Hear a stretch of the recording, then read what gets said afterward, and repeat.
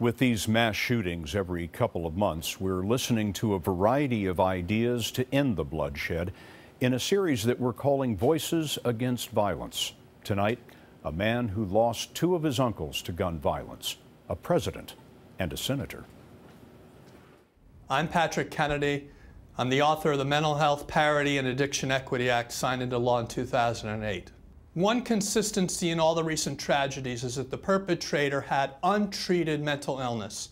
The most basic thing we can do is wrap around services upon the first incidence of someone's psychosis, usually in their late teen years, early 20s. We know when to expect these, when they happen. We ought to wrap our arms around the people who are suffering from these illnesses and treat them early, as opposed to ignoring them until they become pathological stage four illnesses.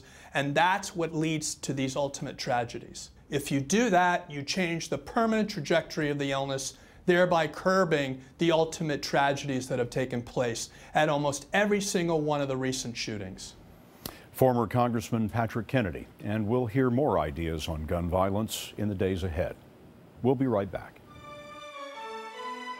This portion of the CBS Evening News is sponsored by Jardiance Tablets.